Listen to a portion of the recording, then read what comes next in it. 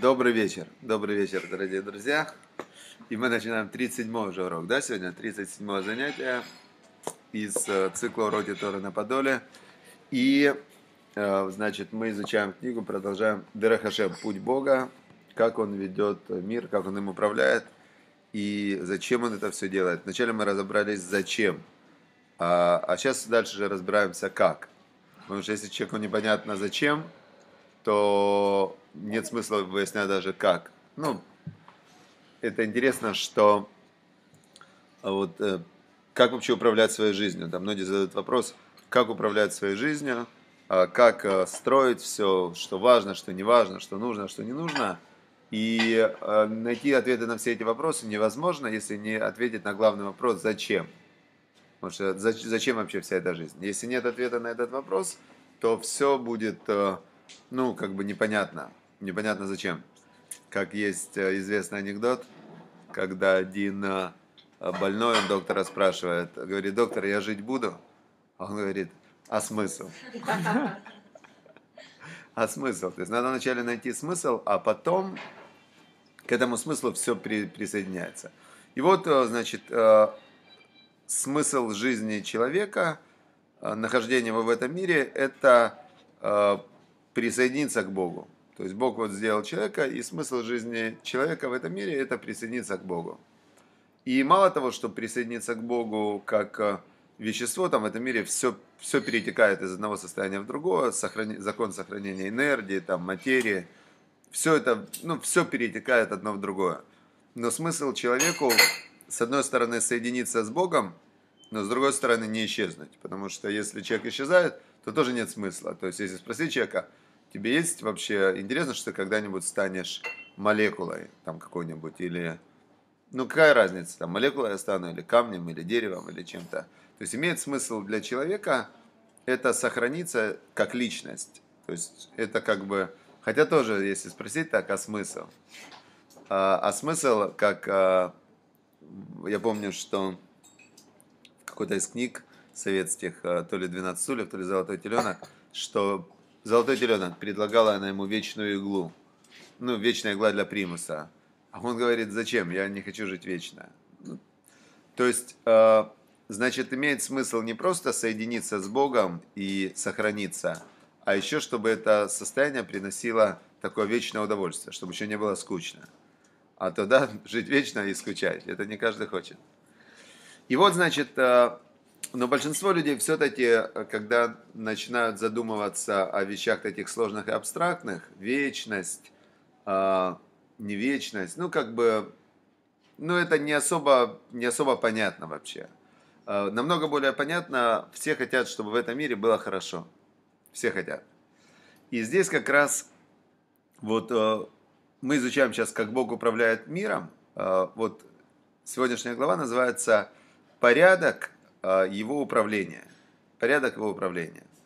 Я сейчас немного мы почитаем, а потом я расскажу историю. Сегодня я как раз ее слышал.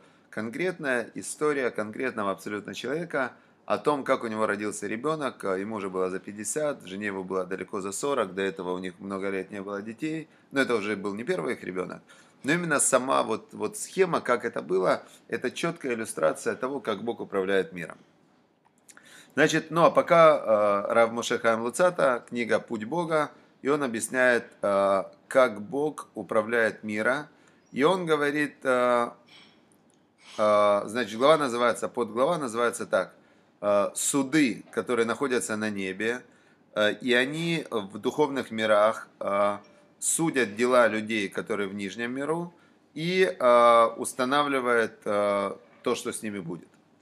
Значит, э, написано так, что так э, установил порядок э, господин, благословен он, да, это Бог имеется в виду, да, он все это создал, и он установил такой порядок, что он управляет всем миром, и неважно, что это дела людей или то, что должно вообще появиться в самом мироздании, да, не только вот то, что касается людей, а есть еще всякие там цунами, какие-то э, животные исчезают, какие-то животные, может, появляются. Ну, допустим, в последние там несколько тысяч лет, может, ничего не появлялось из животных. А раньше точно появлялись, да, то есть если посмотреть на э, все эти раскопки, то какие-то виды животных появляются, какие-то исчезают. И даже, даже сейчас исчезают целые народы. Представьте, сколько народов исчезло за последние несколько там тысячелетий. Целые народности были народы и исчезли. В наше время исчезает куча всяких там малых народов севера. Инки исчезли. Инки, целые там цивилизации, инки, ацтеки. Э, кто? Атланты. Атланты, там э, еще какие циклопы. Э, эти самые, да. Ну, нету в последнее время. А появились... Зато появились э, вот э, такие электронные сейчас звери, которых кормят. Была одно время мода. Тамагочи. Тамагочи, да. Но появились тамагочи. Так он пишет, что э, все, что э, управление всем миром, э, как людьми, так же и всем мирозданием, э, делается это э, так, как э, похоже на царство земли.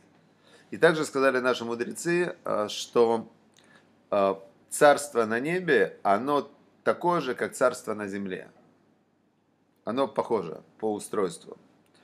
То есть э, вот эти вот суды и э, санед, санед, санедраот, это есть суды, которые маленькие, а есть большие суды. Вот э, что значит большие суды? Имеется в виду, э, вот есть там Верховная Рада в Украине, да, это, это законодательный орган, 450 человек, которых э, народные избранники, и они устанавливают законы, по которым потом ведется управление государством. Здесь это Верховная Рада, а в России, как называется, Дума. Дума. В Израиле это называется Кнессет. В Америке это называется Палата, есть Конгресс, а есть э, Сенат. Да? То есть есть вот эти вот все устройства, это называется сан, Санедраот, Санедрин, то есть сборище каких-то людей, которые устанавливают законы. А суд это уже исполнительная власть. То есть вот эти вот э, люди, они установили законы, а есть люди специально обученные, судьи, которые, э, они, значит, э, по этим законам следят, чтобы люди их не нарушали. Теперь есть на, в земном суде, а написано здесь, что суд небесный, он как земной. То есть это, это как бы отражение одно другого. Есть в любом суде, есть обвинитель, прокурор, и он говорит, «Э, давай, значит, наказать надо там сильно, он совершил вся тяжесть преступления. А есть э, защитник, адвокат, он говорит, нет, он не виноват, он вообще ничего этого не делал, а если делал, то он тоже не виноват, а ее это делал не он вообще, ну и так далее. То есть, значит, на небе как на земле. И э, есть разные виды судов. То есть, как есть суды на земле, есть э, районный суд, есть суд э, областной, есть суд э, государственный, административный суд. То есть, есть множество разных судов. Значит, также есть такие же суды, разные суды на небе. И там это все устроено по разум, на какой-то разумной основе и по четким порядкам. Значит, э, и перед ними проходят все вопросы, которые, э, по которым должно выноситься решение. И э, это решение выносится, как сказал пророк Даниэль, что устанавливают в городах приказы. Так эта фраза там из пророков. То есть, что имеется в виду? Ситуация все время неоднозначная. То есть, вообще все неоднозначно. И, значит, должен быть дождь или не должен быть дождь. Половина молится, им нужен дождь. Половина молится, им дождь не нужен, например. А, дальше а, человек идет, например, один а, какой-то бизнес. Один хочет заработать, и второй хочет заработать. Значит, они вдвоем идут и хотят заработать из одного источника. Источник один.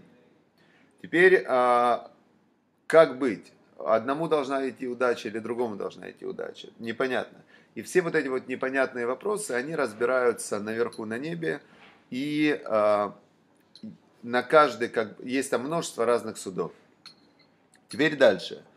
Написано так, что Бог благословен Он, Он присутствует во всех судах этих. Во всех этих судах Он присутствует, и Он оказывает в них влияние, э, и Он э, устанавливает, чтобы там было все истина. Истина, то есть БМЭТ, без обмана. Э, чтобы вышел на небе честный суд. То есть на небе суд честный, можно быть уверенным, э, судом на земле уверенным быть нельзя, что он честный. И интересно, что первая, самая главная заповедь для всего человечества, когда Ноах э, получил заповеди для всего человечества, есть семь заповедей для сыновей Ноаха. То есть до дарования Торы весь мир жил по заповедям, которые получил Ноах на выходе из Ноева ковчега. И вот Ной, ну Ной, это мы привыкли его называть Ной, но на самом деле его звали Ноах. Просто греки, они многие буквы не выговаривали. Они шипящие не любили, и поэтому они переделали все шипящие на свистящие. И Ноах, они Хэ решили убрали, получился Ной. Иерушалаем они все убрали, получился Иерусалим. Моше стал Моисеем, Ешуа стал Иисусом, э, то есть они все Ше переделали на Се. Э, и, значит, э, так вот, сейчас, Ноах стал Ноем. И, значит, первая заповедь, которая была дана Ною, это было «делайте справедливый суд». То есть на земле должен быть суд справедливый. И если нет суда справедливого, то мир, он не может существовать, потому что тогда идет искривление, люди не... Ну, вообще тогда непонятно, как действовать. Делайте справедливый суд, и те страны, в которых а, есть справедливый суд, они процветают. Те страны, в которых нет справедливого суда, они бедствуют. То есть, если мы посмотрим на страны, где закон, он а, не для всех одинаковый, то, в принципе, в этих странах, ну, это бесправные страны, человек может в любой момент быть ограбленным, обиженным, и обездоленным, ну и так далее. То есть э, то, что мы сейчас здесь наблюдаем да. на всех уровнях, э, на всех уровнях э, от, от простого представителя власти, суда и так далее. То есть закона нет. Нет закона, значит, люди стремятся убежать из этой страны. И, значит, это против того, что Бог сказал, что должно быть. И вот на небе Бог присутствует во всех судах. И есть э, там суды главные, в которых Бог, Он э, во главе стоит этого суда. То есть Он реально э, важными вопросами занимается сам. Э, есть, э, как написано, один из пророков э, сказал так, что вот я увидел Бога, Он сидит на троне, и все небесное воинство стоит перед Ним справа и слева. Объяснили наши мудрецы, благословенные их память, что те, которые справа, они стоят э, и они говорят за. То есть они пришли для того, чтобы удостоить тех, кого судят. Те, которые слева, они стоят и обвиняют. Слева стоят обвинители, справа стоят э, адвокаты, да, которые хотят удостоить. И сказал Даниэль, э, что вот Бог сидит на этом троне, э, а они все стоят вокруг него. Значит, э, здесь э, опять же, пророк, он воспринимал, э, ну, сама картинка, которую он видел, он знал, что это так, картинка у него была такая, как вот в то время, ну, была принята. То есть человек, он, э, духовные вещи, они нематериальны. То есть духовное, оно и потому и называется духовное, что оно нематериальное.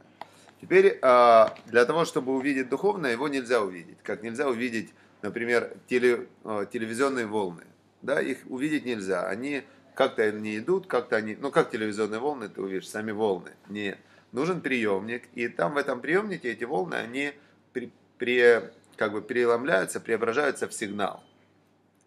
Но откуда взялись эти телевизионные волны? Была материальная э, штука да, в студии, значит, эта материальная штука была каким-то образом оцифрована, переведена в этот электромагнитный сигнал, ну, воздух. Эта волна идет там или по кабелю, или по воздуху, потом этот сигнал улавливается, и этот сигнал переводится другим устройством, телевизором, в, э, во что переводится? В, опять в сигнал воспринимаемый. А в духовном мире это не так, нету начальной студии, студии нет. То есть есть некая духовная реальность, которая нематериальна, потому она и духовная. А теперь пророк, он эту материальность, он воспринимает как знание, но чтобы это знание передать, воспринять, пророк, пророк должен его внутри оцифровать и перевести в какую-то воспринимаемую картинку. А картинка, которую он воспринимает, она все равно строится из тех э, образов, ну, из тех пикселей, которые в него заложены. Поэтому, если бы был пророк сегодняшний, он бы увидел э, Бога не на троне, а на, например, на чем бы он его видел? На, на, ну, не на вертолете, но на там, я не знаю, на чем Обама выступает. Там, ну, не знаю, как бы он его видел. Как-то он бы его увидел, но не на троне, потому что трона сегодня, кто видел трон? Вот из современных людей. Ну, никто трона не видел. Я был специально в палате в этой, в Москве, есть в Кремле, палата, как на оружейная палата, или как это называется. Какая? Алмазный, да. Да. Да, и там есть э, троны, там есть карета. Карета это фантастика. То есть просто реально царские кареты это что-то вообще нереально фантастическое. Это огромная такая штука, как вот ну, по размерам она э, там как лимузин, да, современный, огромный, но колеса в человеческий рост. Она вся золото, бриллианты, ручка. То есть там эту карету подарил там какой-то царь, какой-то царица. И там этих карет огромное количество. Есть маленькая детская карета. Это там карета наследника престола. А вот его саночки. Зимой они ездили, не было же дорог нормальных зимой. И они ездили на санях. А это зимние сани, там, зимнего выезда. В общем, э, пророки, они видели э, эту систему в том виде, в котором в то время это было. А современные, сейчас нету пророков, но если бы они были сегодня, то, возможно, они бы эту духовную реальность, они бы ее преломляли бы в какую-то другую совершенно картинку. Единственный, кто не искажал, кто был вообще без искажений, кто воспринимал как чистое стекло эту духовную реальность, это был Маше Рабейну, Моисей, который был пророк, самый высший из всех пророков, и он э, воспринимал, поэтому он воспринял Тору без искажений – как он был как чистое стекло. У него его эго, его, у него не было его эго вообще. То есть и он воспринимал от Бога, вот как в чистом виде он всю передавал информацию. Все остальное это образы. И вот, значит, как мы уже объяснили, как мы объяснили выше, продолжает Рамхаль, что основа такая. Э, очень много нюансов и тонкости есть в суде каждого человека человека. Почему? Потому что, чтобы вынести любое решение, а, есть его прошлое, есть его будущее, есть э, его предки, которые ему дали какой-то там уже запас, депозит, ну, своими заслугами. А может, у них э, не дали никакого депозита своими заслугами, да? Есть э, уже известно, что он оставит после себя, да, то есть это же духовный мир, там нету как здесь, э, вот такого жесткого времени. И, то есть, каждый суд, когда судят каждого человека, это множество разных нюансов. И, э, значит, э, есть очень много разных, как бы, таанот, ну, претензий, да, к человеку. Есть много разных причин, которые вызвали к действию то или иное событие. А, в общем, это целая сложнейшая система, которая просто а, реально очень сложная в... Э, для того, чтобы это все судить, это ну, реально очень сложно. Все должно быть честно. То есть вот единственное, что мы знаем, что Бог следит, чтобы там учитывался каждый малейший параметр, а, а параметры эти это постоянно меняются, потому что человек, его сейчас судят за что-то, да, а есть известный анекдот такой, как э, один жил хасид, и он был такой хасид в Нью-Йорке, и ему понравилась одна девушка, не еврейка, официантка в кафе, и он к ней не выдержал, а, и, значит, э, ну, подошел, говорит, вы мне нравитесь? Она говорит, вы что, говорит, э, ну, а он хасид с пейсами в этом. А такое тоже иногда бывает, то есть у человека его животная природа, э, инстинктивная, она преобладает над его разумом, над его системой верования, убеждений и так далее – и он вот ее увидел, вот она ему понравилась. Почему она ему понравилась? Вообще это непонятно, да, потому что если посмотреть на любую девушку, ну, с точки зрения без э, иллюзий, без иллюзий, то, в общем-то, непонятно, что это может понравиться. Но, а, но да, Раби Нахман, нет, я вам скажу, вы не, не обижайтесь там все, кто слушает, но если посмотреть на девушку с точки зрения анатомического атласа, ну вот, как бы представить, там, снять кожу, ну вот как анатомический атлас, да, угу. то что остается? Там куча, ну вот видели когда-нибудь ну, атлас? Да, да. Да, и тут, а вдруг этот хасид, он ее увидел. Что значит понравилась девушка? Он, он ее видел там пять минут, да, а, но он отвернулся, он у себя в голове начинает ее там, о, такая она красивая, я ее люблю. Все это иллюзия. Все это иллюзия, вся эта симпатия, любовь, это чистая иллюзия, которую человек строит у себя в голове. И вот этот хасид, Он э, эту иллюзию построил, и его желание э, с этой иллюзией соединиться, а что такое любовь вообще, зачем он к ней подошел? Он хотел с ней э, совершить половой акт, процесс размножения. И, ну а зачем он к ней подошел? Что значит я тебя люблю? Что он от нее хотел? Что он от нее хотел стихи написать? Или услышать от нее стихи? Да. Ну, ну нежности он хотел от нее. Нет, мужчина хочет... Не, не, нет, это факт. Что движет мужчину? Да. И ответ и продолжение рода. И вот он, и вот он к ней подошел и со своим вот этим непристойным предложением. А она, хотя он сам себе говорил, что она мне нравится там и так далее, она ему говорит, нет, ну как, э, вы хасид, я просто девушка, я вообще к евреям не имею никакого отношения. Значит, э, идите своей дорогой. Он, значит, думал, думал, а знаете, когда человек влюбляется, он себе выдумывает всякий бред. Он начинает рвать какие-то растения, дарить, э, ну, там, это цветы. Он начинает писать, как свечи какие-то зажигать, огни, там, ну, бред всякий, да. И он, да, да. И он, значит, этот хасид, он пошел в парикмахерскую, сбрил пейсы, сбрил бороду и, значит, одел джинсы и идет к ней на свидание. Вот что любовь там на такие жертвы пошел. И тут, значит, его сбивает машина насмерть. Вот так вот. И сбивает машина его, и он попадает на небо. И тут, а главный суд после жизни, а главное как бы итог, что то, что ты здесь делаешь, тебе дает промежуточный результат в этом мире, но главный как бы зачетный период, это в конце жизни, что ты успел сделать за жизнь. И он попадает на этот последний суд, ему говорят, что вы, значит, э, свою миссию еврейскую, служить Богу, быть священником и значит, вы не выполнили, и вы поэтому в ад, значит, и до свидания. Он говорит, секундочку, как не выполнил? Я же всю жизнь был э, хасид, я молился и выполнял заповеди, вот. И, значит, ну, в этом анекдоте, э, значит, Бог, который в этом суде, в последнем суде, вот, который по итогам жизни, там Бог, он главенствует, да, уже самая последняя инстанция. И он говорит, подожди, Мойша, это ты? Извини, говорит, не узнал. Он же, когда умер, он же был без, э, без бороды, без пейсов, да, он говорит, извини, не узнал. То есть э, имеется в виду, что суд учитывает очень много разных параметров, множество разных параметров. И, возможно, была удивительная история, которая для многих была непонятна. Значит, э, первый израильский космонавт, его звали Рамон... Как? По-моему, Рамон его звали. Рамон... Или и Рамон. Да, а? Не, Рамон.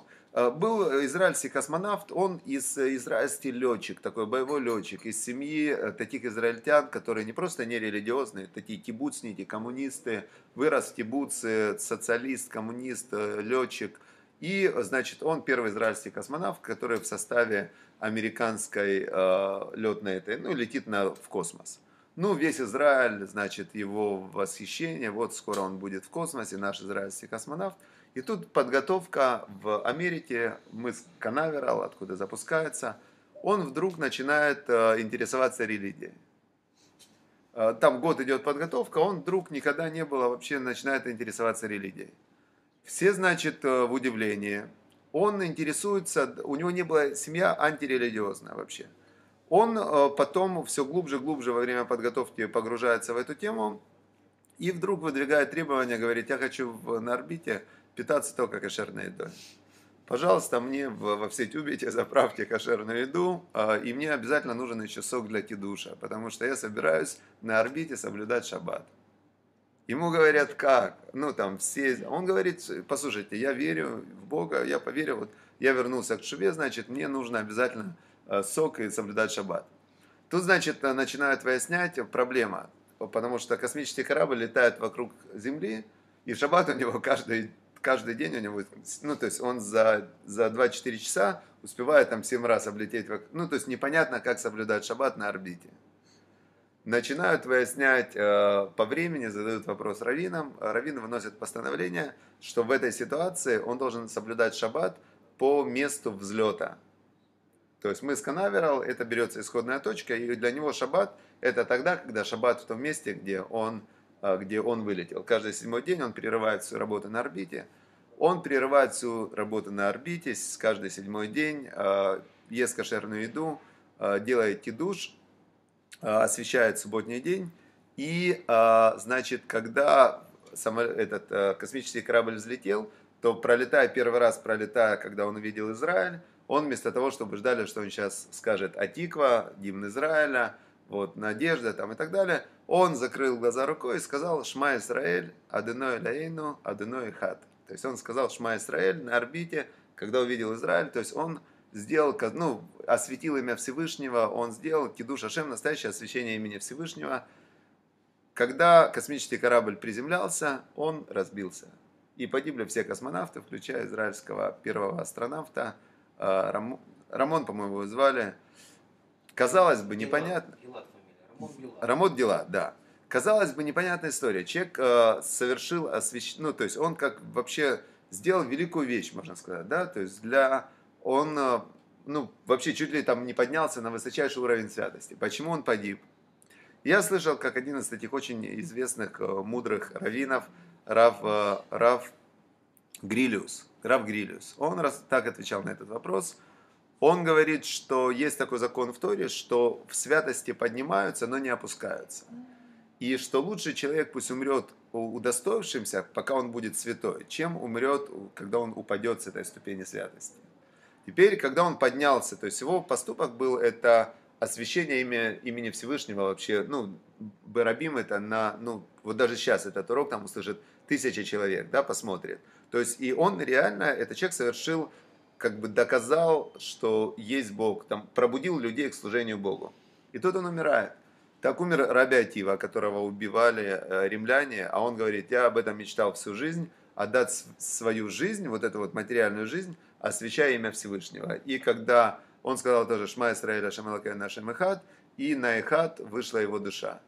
Значит, а, мы, а, так как ну, большинство нормальных людей, которые живут в мире материализма и как высшую ценность ценят то тело, которое по-любому умрет. То, то есть у нас мы живем в мире, где на первое место выставлено тело и все телесные потребности. Это главное. Оно это на самом деле это не так. Тело умрет по-любому. Раньше, позже, в, там, у кого в 80 лет, у кого в 100 лет, у кого в 50, у кого в, там, в 20, не дай бог, да но тело по-любому умрет. И, а, а есть люди, которые на первое место ставят духовность. И вот в духовности высшая как бы пиковой точкой является отдать свою жизнь осознанно, выполняя волю Всевышнего. А, осознанно это высшая пиковая точка, это то, что делал Раби Атива, то, что делали а, великие праведники, умирая, освящая имя Всевышнего. А, более низкая точка, когда это происходит неосознанно, как это произошло у Делят Рамона, когда он поднялся на высшую ступеньку святости, а корабль на приземлении взорвался. Еще более неосознанно это происходит, когда была катастрофа, когда 6 миллионов евреев было убито, а, потому что они были евреи. А что значит они были евреи, за что их убивать? Потому что был договор с еврейским народом служить Богу. Народ священников и обратного хода нет. Теперь, э, если ты это делаешь, то ты получаешь награду, да, когда во времена царя Соломона, например, э, весь мир, он шел в Израиль посмотреть на эти чудеса, первый Иерусалимский храм, улицы, мощенные серебром, э, великая мудрость, э, ну там вообще рай.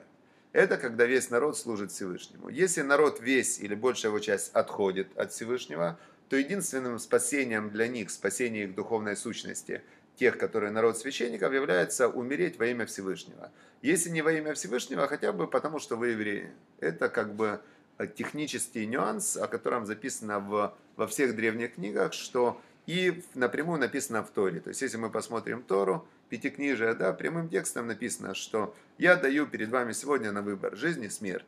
Если будете соблюдать мою волю, будет так-то, так-то, так-то, и идут благословения. Если не будете, будет так-то, так-то, так-то. Если вы скажете, что неприятности для вас пришли случайно, то я еще усилю там в 7 раз – и будет еще хуже. Идет перечисление, как будет хуже. А если вы скажете, что это случайно, я усилю еще в 7 раз. И так далее, и так далее, и так далее. То есть э, выхода нету. Поклялись 3000 лет назад, э, выхода нету. Все, это уже клятва навечно, пока существует мир. И, э, но отдельно в жизни каждого человека действует множество разных параметров, и Небесный суд э, учитывает абсолютно все, каждый параметр – и, э, значит, э, э, Значит, и в каждом действии есть аспекты, которые удостаивают человека. Я не знал, я не хотел, я не думал, меня не учили, ну и так далее. То есть есть множество оправданий. И в каждом аспекте есть множество обвиняющих. Ты не знал, но мог узнать. Ты не думал, но мог же подумать, правильно? И с двух сторон его как бы идет э, рассмотрение дела. Э, есть множество еще других э, сторон, э, которые учитываются при оценке его поступка на небе. Э, и он говорит, что любое, если мы возьмем любой аспект реальности, он настолько состоит из сложных составляющих частей, э, и он является следствием множества предыдущих э, событий, и он является началом следующей цепочки событий. И вся вот эта система, она необычайно сложна. А, но на небе все это видно. То есть это здесь не видно человеку, а на небе все это видно. А,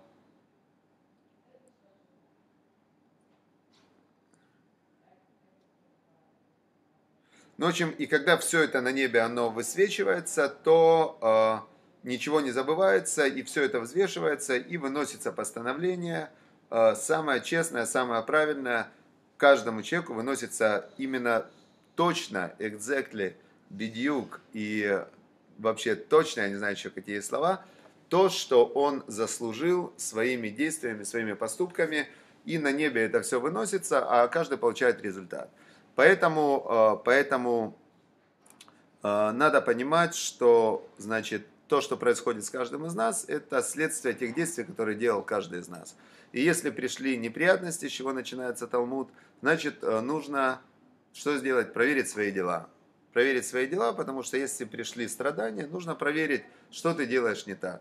Если проверил и не нашел, это не значит, что ты делаешь все так, продолжает Талмуд. Это значит, что ты учил мало Торы, что то, что ты думаешь, что ты делаешь правильно, на самом деле оно неправильно. Ты не знаешь, как работает система, и ты проверил свои дела, сказал, я все правильно делаю. Я сейчас читаю книгу про Стива Джобса. То есть Стив Джобс гениальный человек, который создал самую дорогую компанию в мире, но так как он относился к людям, сколько он обижал людей, унижал людей, а, ну просто лишал людей денег. Э, ну, но главное, что он очень много унижал людей своим прямым поведением. Прям конкретно я изучил ну, несколько его биографий. Сейчас читаю книгу человека, который 15 лет проработал рядом с ним. И он конкретно людей унижал, и это знали все. То есть он мог, ну, там, прямо в разговоре, прилюдно. Э, он умер рано, да, в 56 лет. Он имел все ресурсы мира, которые могли быть для того, чтобы не умереть. Но, тем не менее, э, я думаю, что он был э, сыроед. Он вел дико вообще всю свою жизнь здоровый образ жизни. Он, э, ну, как бы вкладывал в свое здоровье очень много. То есть он пил, э, ну, всю свою жизнь он был, очень следил за диетами, сыроедение, там, в соте э, постоянно. Ну, то есть это была его такая пунктик, да. Но э, он был дзен-буддист. Он э, изучал дзен, медитировал и так далее – но при этом та карма, которую, карма, а, влияние на небе, которое он создавал, наверняка каким-то образом повлияло на сокращение его жизни. А, поэтому, если пришли неприятности, человек говорит, да, я все правильно сделал, да, а, то, возможно, он просто мало учил Торы и не знает, что он делал все неправильно. Ему кажется, что он делал все правильно, а на самом деле он делал правильно по своим понятиям, а сами понятия были неправильные. И третья стадия, если и много Тора учил, и все делал правильно, что ну, затруднительно найти, написано, что нет садика, праведника, который бы не согрешил. Но все-таки, если такая ситуация, значит это называется страдание из любви. Значит, Бог, написано, любит этого человека, и Он ему посылает страдания, чтобы увеличить его награду. То есть, э, вот эти вот э, праведники, которые страдают, они праведники, все делают правильно – но э, так как Бог знает, что это мир, это мир для заработка награды, духовной награды, Он им дает сложные тренажеры, чтобы он э, выполнял свое служение Богу в сложных условиях, и чем выше страдания, тем больше награда. И этим объясняются все страдания, которые только бывают в мире. Ну, я, я, я не уверен, что мы можем утверждать, что Стив Джобс умер, потому что не. Не, он, он умер потому... Он умер не еврей, он не обязан. Не-не-не. Тора – это устройство мира. Я не говорю Тора как Тора. Тора – это как... Вообще само слово Тора – это учение. Ну, а что, что он должен был... Нельзя обижать людей никому. Нельзя, хоть еврей, хоть не еврей, обижать людей, унижать людей. А, грабить, воровать, забирать деньги запрещено хоть евреи, не евреи. Вообще это, это законы, по которым работает мир. Значит, если взять семь законов сыновей Ноха, то там есть тоже, что нельзя а, грабить, нельзя воровать, Ну, нельзя убивать. Нас, у нас есть правило, ну, насколько я знаю, я имею в виду еврейское Да. правило, что каждый имеет то, что он верит. То есть если он был дзен-буддистом, то мы не можем ему навязывать там, те же законы Ноаха. Не-не-не, Потому что это чисто наше еврейское нет, представление нет, о человечестве. Ну, как? нет, есть истина, есть Ну, истина. это, ну, это наше понимание истины. Еще раз, я не говорю сейчас про все понимания истины, они, а, а, там есть множество Ну, пониманий. ну, это, это же строгое иудейское, еврейское понимание истины. Я исхожу, что это и есть истина, а теперь а, Но, но- но для него была другая истина. не было для него другой истины. Для него было только это. Так Он Бог верил в один, другую Так истину. Бог Нет, один. ну, Нет, он Он верил в верил другую в то, истину. что-. Секундочку. Вот дайте я объясню. Он верил в то, во что он верил. Но Да, есть, говорим. я, смотрите еще раз, есть вот, я рассказываю свое видение мира, свою модель мира. И то, что я здесь преподаю, это та модель мира, в которую верю я. Это та модель мира, которую Бог передал Моисею, это Тора, и которая Моисей э, из поколения в поколение передавалась она в еврейском народе до сегодняшнего Я дня. понимаю. О, теперь я верю, еще раз повторю, я верю в эту модель мира. И в этой модели мира есть единый Бог, который сотворил мир, который установил в этом мире законы и передал эти законы людям. Первично он передал э, систему Ною, да, когда был. Это да. знаю, да. Стив Джобс не знал этих законов, поэтому он и умер. Потом он и умер. Потому-то он и умер Мы не рано. можем так утверждать. Если Почему? Более- Почему не можем? это более чем, ну, это более чем неправильно. Почему? Ну, Секундочку, вот смотрите, интересно, как вы, да? Вы говорите, что это неправильно Мы утверждать. вообще не можем так утверждать, потому что мы не знаем, во-первых, замыслов Бога. Знаем. А мы же их изучаем, вот же книжка. Не, ну, Дорого мы изучаем, это наша там, скромная попытка как-то приблизиться, но мы не знаем действительно реальных на- намерений Бога по поводу Стива Джобса, это во-первых. Во-вторых, как бы он существовал в другой системе координат. То есть Он не Нет, был евреем. Какой другой? Нам Секундочку. он не был евреем. А, Он верил в другую. Если человек Да. верит, что красный цвет можно идти через дорогу, он верит, что красный свет э, надо именно идти через дорогу, а на красный свет э, нельзя идти через дорогу. Он попал под Смотрите, машину. то есть вот, э, по вашей версии, как бы э, люди, которые не являются евреями по убеждениям, да, они, они как бы изначально уже грешники и, и так далее и, Да. и тому подобное. На самом деле, да, на самом деле у нас же, э, я имею в виду так, я еврей, то есть у нас и вы тоже, у Да. нас есть прямой запрет на, на миссионерство. Мы не имеем права э, проповедовать, допустим, другим народам, э, вербовать их и так далее. и тому Я же не говорю. Почему? Потому что да, потому что у каждого народа действительно э, своя система представлений.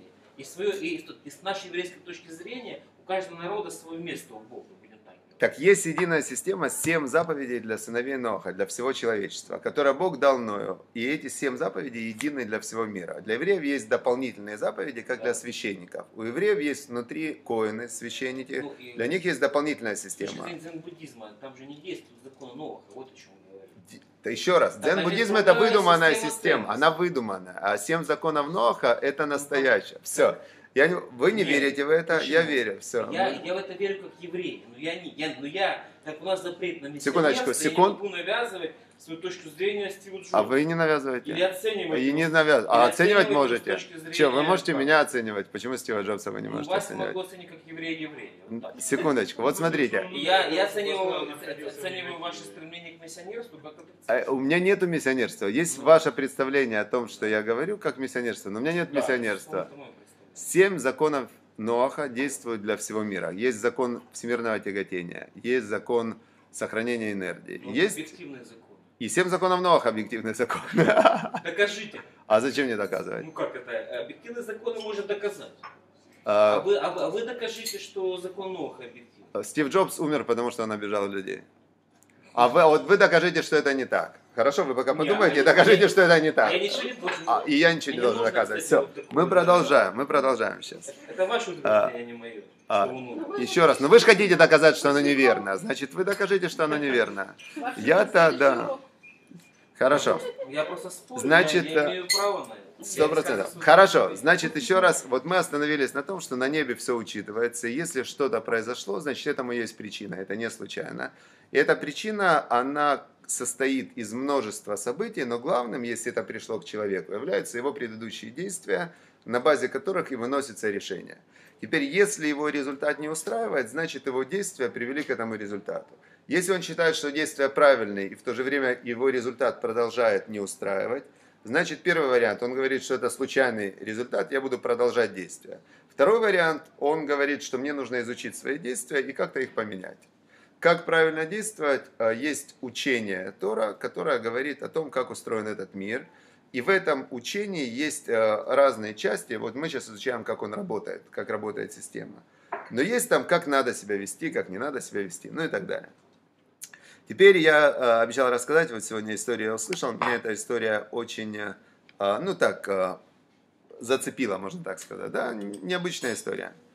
Значит, есть день суда, то есть вообще суд происходит на небе, он происходит постоянно, каждую секунду, каждую минуту, каждый день происходит какой-то суд, но основной суд происходит раз в году, это называется Роша Шана, начало года, день суда. То есть, э, когда э, начинается год, Роша Шана есть, э, это происходит 1 Тишрея. 1 и 2 Тишрея происходит праздник Роша Шана, это праздник называют, но это особый день, день суда.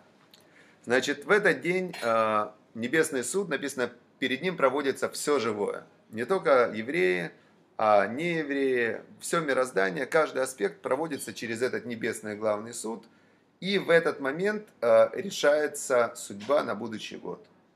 Учитывается прошлый год, учитывается пожелания на будущий год, и каждый проходит через этот суд, такая вот прям чик, на небе, день суда. А, Потом после этого есть 10 дней раскаяния. Это 10 дней, когда э, можно пересмотреть дело, подать апелляцию.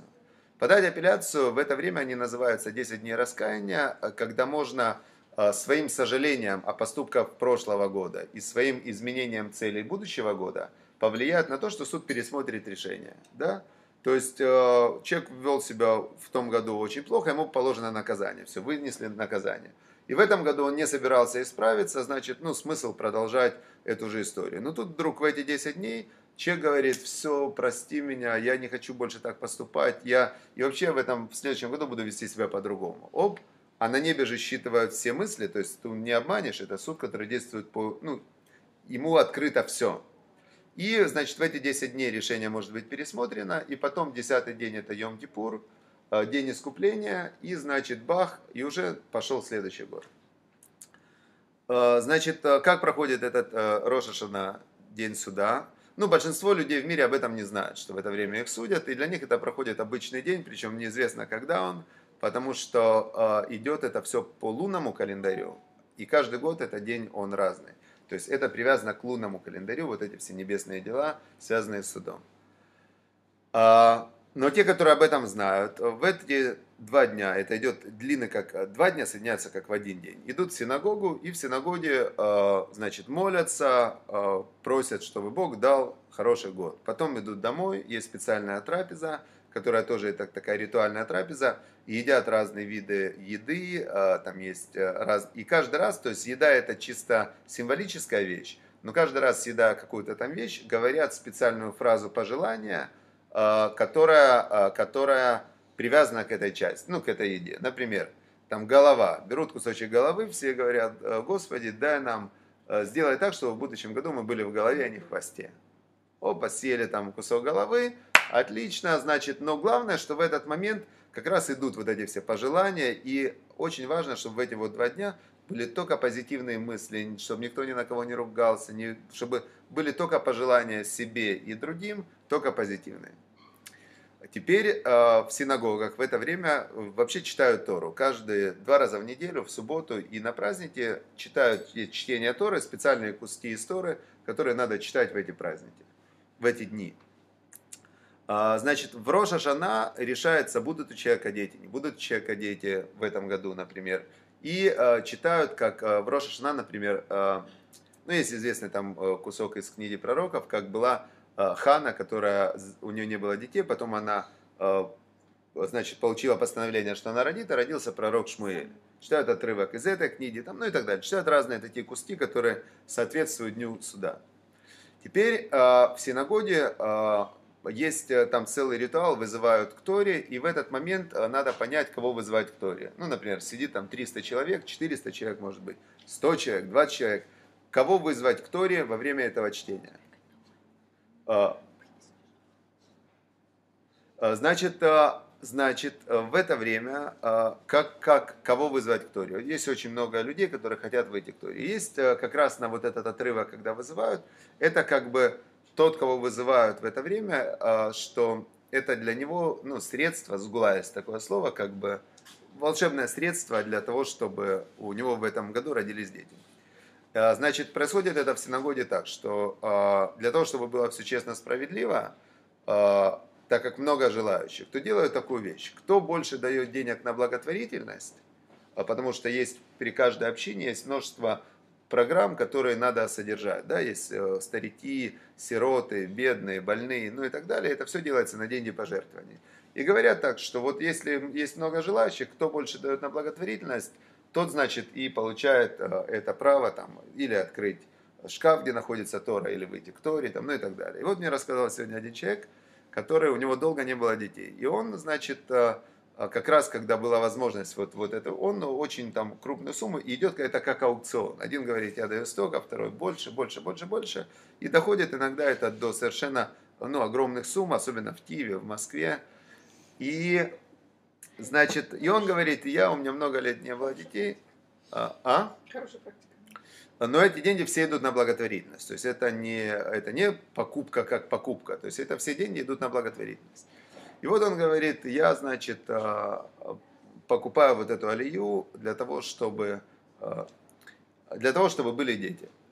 А Говорит, во второй день а, покупает алию тот, с кем я в первый день соревновался. Ну, как бы, у него, а он хотел у него у кого-то из его близких людей, там, или родственник, или близкий, не было тоже детей, он хотел для него это сделать, не для себя даже, а для него. А, В общем, потом проходит Роша Шана, а, они после этого собираются, их было там а, несколько человек, четыре еврея, собрались, сидят, разговаривают, и ну, обсуждают вообще всю эту тему, и оказалось, они только начинали соблюдать заповеди, и они все были не обрезанные. У них не было даже обрезания. И тут один говорит, слушай, ну то есть мы хотим от Бога чудо, ну по большому счету. Давай, говорит, сделаем тоже что-то такое вот, ну, настоящее. Давай сделаем настоящее, потому что мы от него просим чудо. А что мы для него сделали, да? Ну, то есть, ну, даже эти деньги дать, ну, это, это тоже нормальная для нас вещь. Давай сделаем обрезание. Все вчетвером договорились, договорились. Они садятся в самолет на следующий день, летят и сделаем в Иерусалиме. Давай, давай. Сели в самолет, значит, полетели в Иерусалим, сделали обрезание. У этих двух человек родился у каждого по мальчику, родилось в один день, через 9 месяцев и 3 недели. В один день у них родилось вот эти двое, которые купили. И остальные двое у них родилось чуть позже, тоже по сыну. Вот эти четыре человека, у них родилось в этот год по сыну.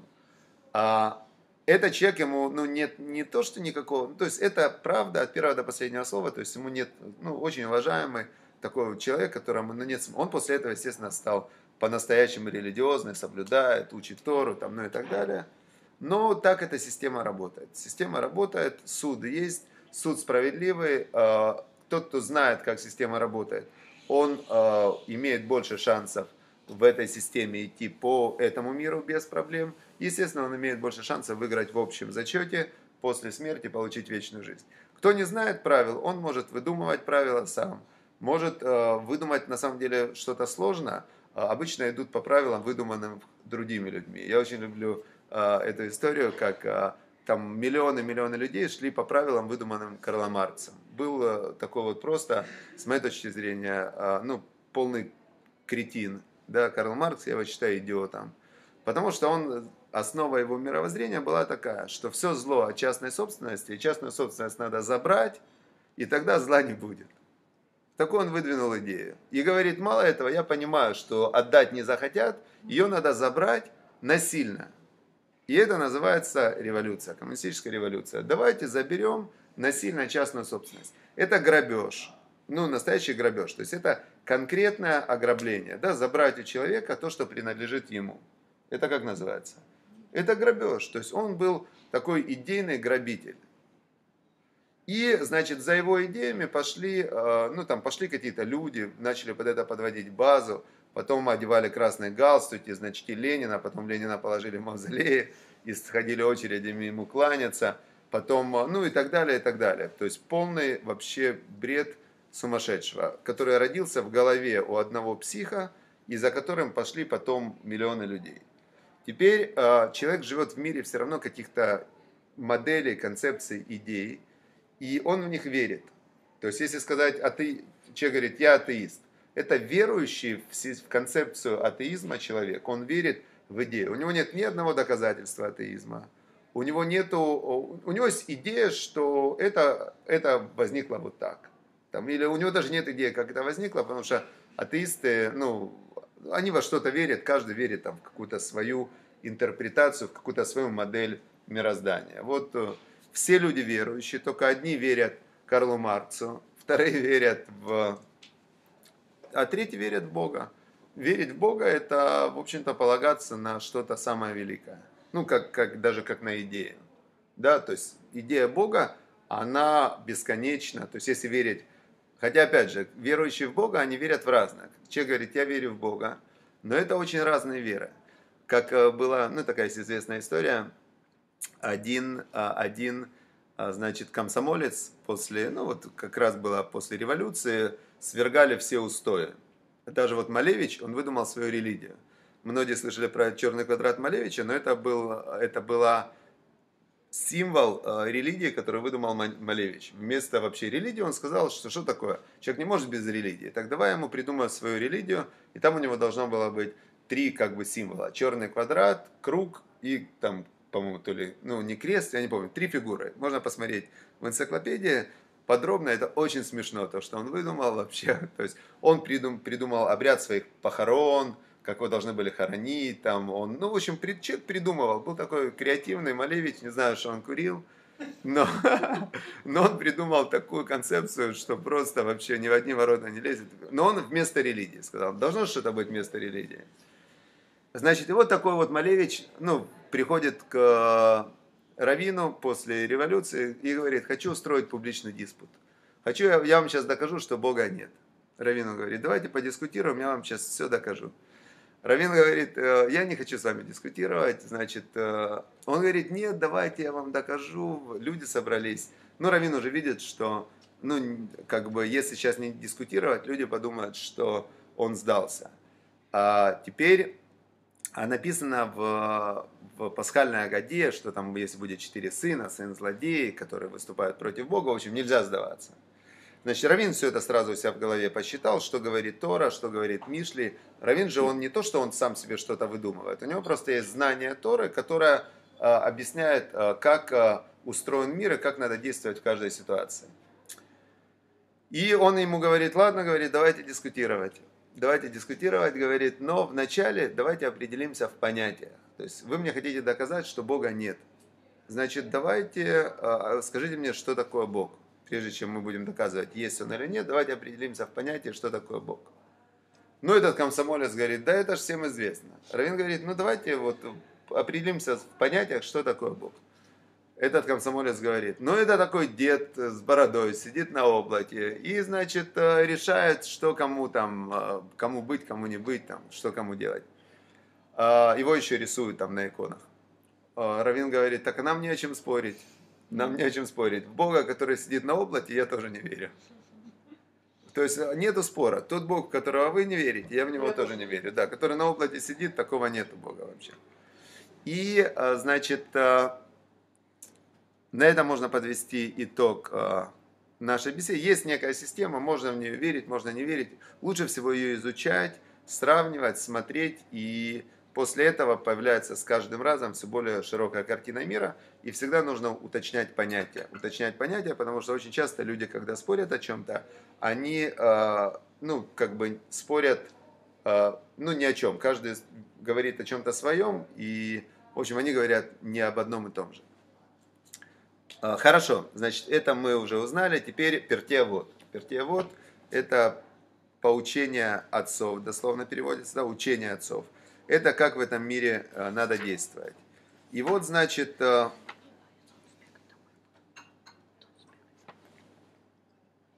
мы уже сейчас заканчиваем. Через...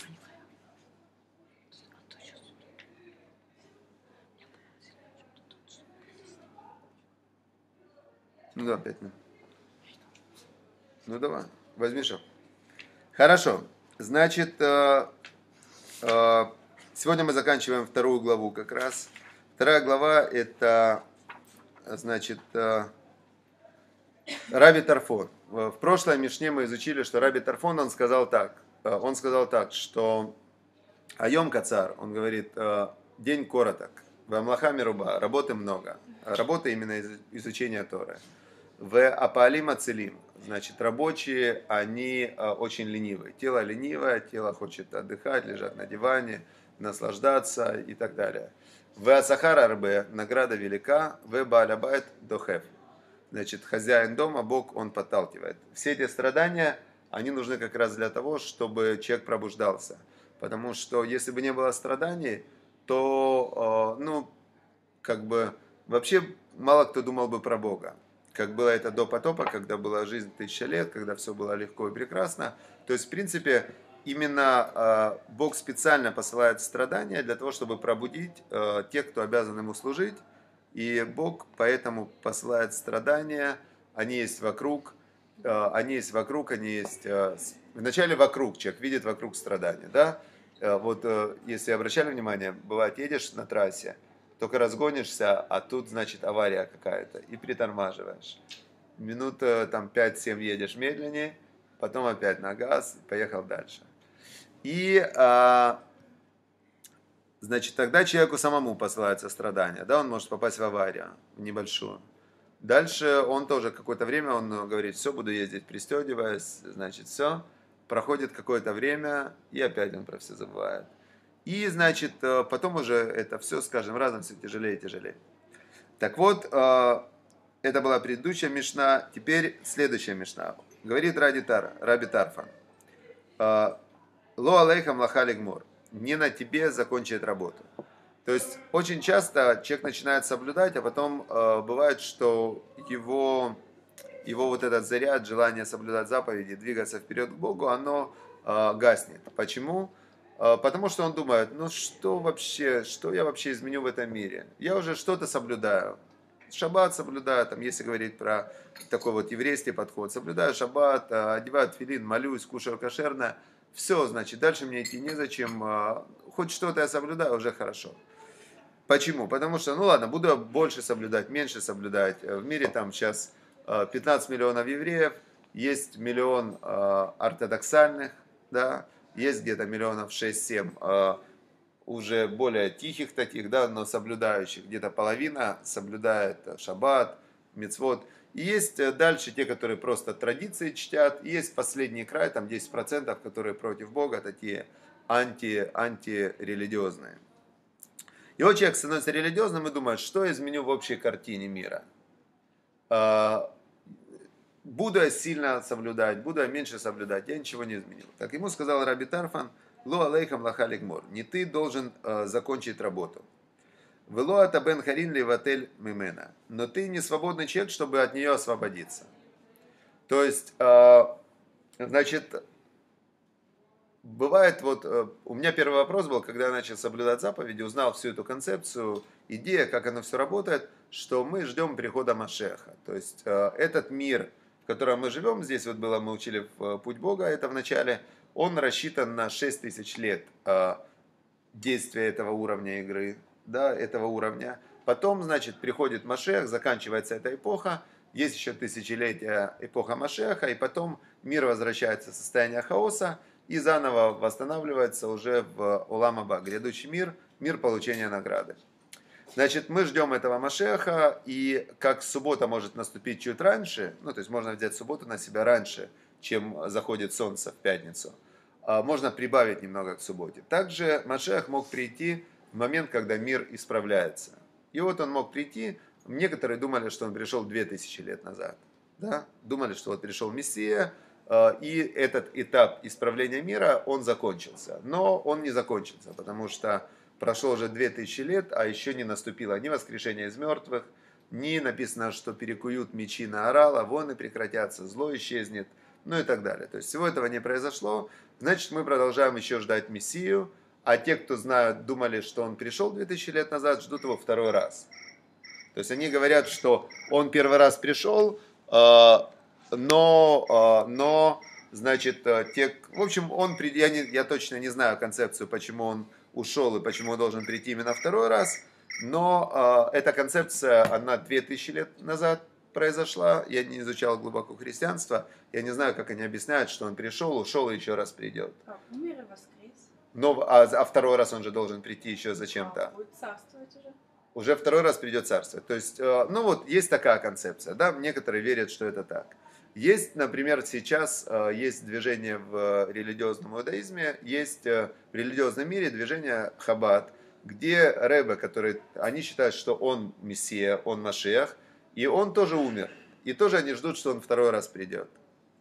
То есть, ну, я тоже не знаю ну, точно, как они объясняют, что он физически умер, но они говорят после каждой молитвы, что он жив.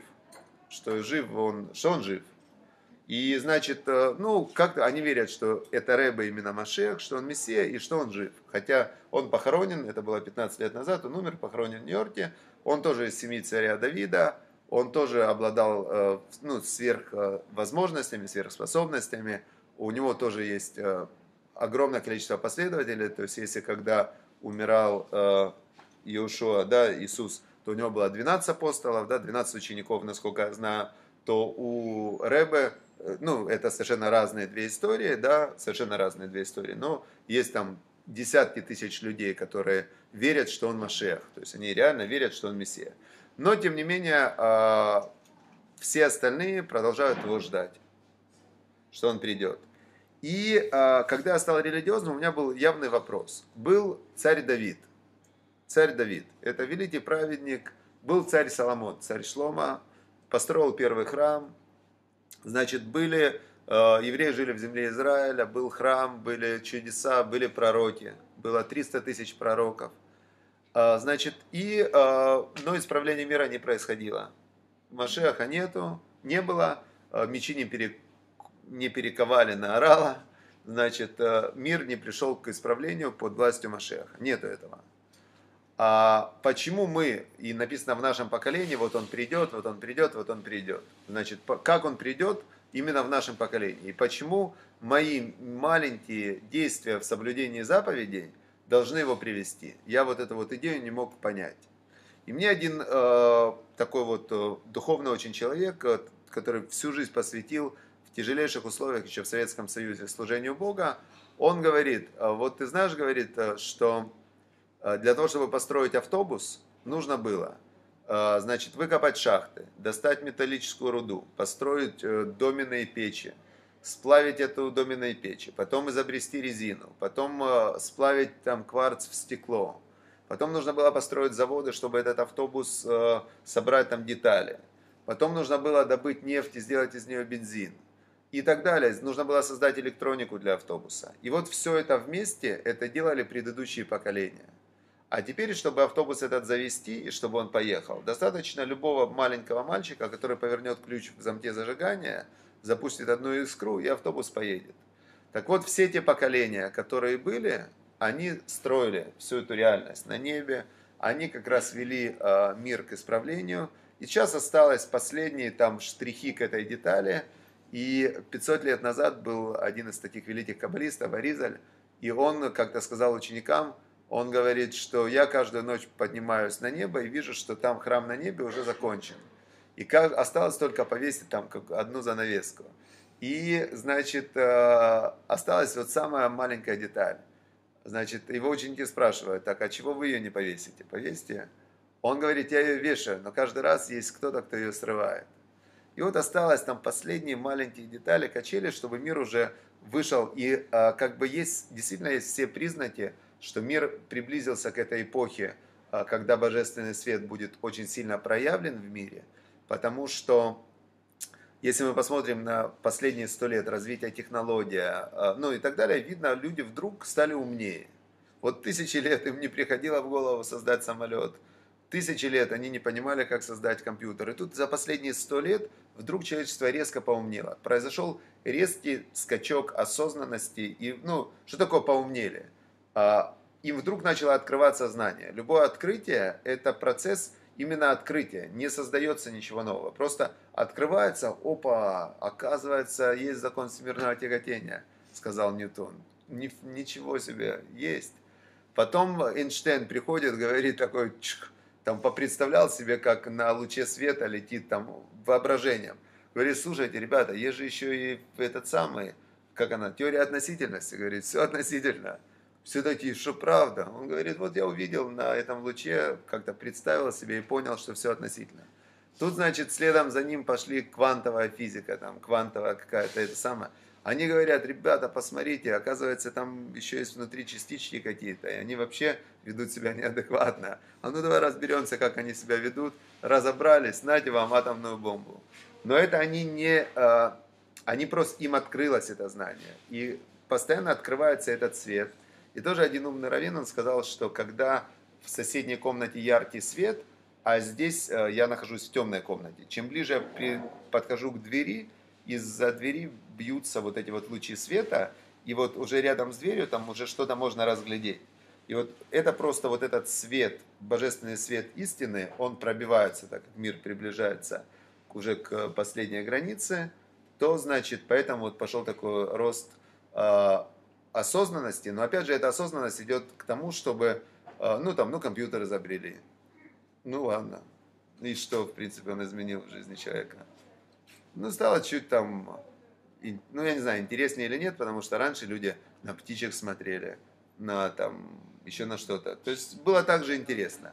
А, сейчас там в путешествие поехал, поехали, съездим там в путешествие. Александр Македонский пешком с армией прошел вообще полмира, прошел и, ну то есть мир изменился, но по большому счету изменения, они произошли в интеллектуальной сфере, а в духовной сфере все осталось точно так же. Есть выбор между добром и злом, между а, я иду в сторону духовную или в сторону материальную, и, ну, в принципе, все осталось в этой сфере выбора, все осталось то же самое. Так вот, сказал Раби Тарфан, что не на тебе работу закончить, не переживай, но и не, ты не свободный человек от нее отказаться. Им ламата тара арбе, если ты учил много Торы, но тним леха сахар арбе. Тебе, говорит, дают очень много награды. То есть учил ты много Торы, дают тебе много награды, ты знаешь, что почем, где действия, которые приносят награду, где действия, которые приносят наказание. Вы нейману баль млахтеха, шейшалем леха сахар пулатеха. И очень э, честный он хозяин твоей работы, то есть Бог, который дал Тору, он очень честный, и он заплатит тебе награду за всю твою работу. То есть любое хорошее действие будет обязательно оплачено, которое идет в сторону Бога. Выда, матан схаран шель цадитим лятит лаво. Но он говорит, зная, что награда праведникам, именно за вот эти вот настоящая награда праведникам, она в грядущем мире. То есть речь идет не о том, что тебе будет больше денег здесь или меньше денег здесь, больше еды или меньше еды, а главное, а, как бы, точка отсчета – это грядущий мир, получение которого и является основной целью создания этого мира. То есть этот мир – это придаток – к миру грядущему. То мир получения награды, это мир заработка награды. Это сказал Раби Тарфан, и э, он знал, что говорил. И последняя осталась у нас 37-я заповедь, коротенькая, это повелевающие заповеди, которые, если делать, как раз и получишь ту самую награду, о которой, о которой говорилось, которая говорила Раби Тарфан. Значит, 37-я заповедь она такая. А, нужно не работать восьмой день праздника Суккот. Все, остановить работу, не работать. Как сказано в книге Ваикра, Байом Ашмини Микрокодыш. Значит, восьмой день э, это время святое. То есть время, посвященное Богу, работать нельзя. То есть нельзя заниматься э, работой, э, работой этого мира. То есть то, чем вы занимаетесь все свое время, оставьте и вот все дни, шаббат, все вот эти вот праздники, которые установлены в Торе, нужно полностью это святое время посвящать Богу. Нета. То есть нельзя заниматься материальными вещами, работать, пахать, зарабатывать деньги, а нужно чем заниматься? Нужно молиться, кушать, пить вино и прославлять Бога и радоваться, что есть награда, которая будет впереди вечность. И э, это, за это Бог платит награду. Если ты отдыхаешь восьмой день и э, прославляешь Бога, посвящаешь Богу этот день праздника, э, значит, э, Он за это платит награду. И все законы здесь такие же, как в первый день Песаха. И это в любом месте обязательная заповедь, в любое время и для мужчин, и для женщин. Так что, в принципе, быть, служить Богу ничего сложного. Получается, нужно 54 шаббата в году, субботы, посвятить э, отдыху, полному отдыху от обычной работы, есть, пить, кушать, общаться с семьей и молиться. Что может быть лучше? Петь песни и радоваться. 54 субботы в году и где-то еще 10 праздничных дней, то же самое, только кушать нужно больше чем в субботу, поэтому вот это единственная сложность. Хорошо, все, на этом мы заканчиваем наше 37 занятие.